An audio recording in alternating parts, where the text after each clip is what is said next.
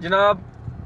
ਇਹ ਵਾਦੀ ਜਿੰਨ ਹੈ ਜਿੱਥੇ ਮਸ਼ਹੂਰ ਹੈ ਕਿ ਆ ਦੇਖੇ ਲੋਕ ਬੋਤਲ ਬੁੰਨ ਸੱਟਦੇ ਨੇ ਤੇ ਰੁੜ ਜਾਂਦੀ ਹੈ ਦੂਈ ਸਾਈਡ ਤੇ ਇਹ ਨਾ ਮਦੀਨਾ ਸ਼ਰੀਫ ਤੋਂ ਹੈ ਕੋਈ 35 ਕਿਲੋਮੀਟਰ ਸਾਈਡ ਦਾ ਹੀ ਜਾਬਾ ਨਿਊਜ਼ ਸਰਾਇਲਮਗੀਰ ਇੱਥੇ ਅਸੀਂ ਆਏ ਵਾਦੀ ਜਿੰਨ ਸਲਾਮ ਅਲੈਕੁਮ ਜਾਬਾ ਨਿਊਜ਼ ਅਹਲਨ ਵਸਹਲਨ ਮਰਹਬਾ ਮਬਰੂਕ ਈਦ ਉਲ ਫਿਤਰ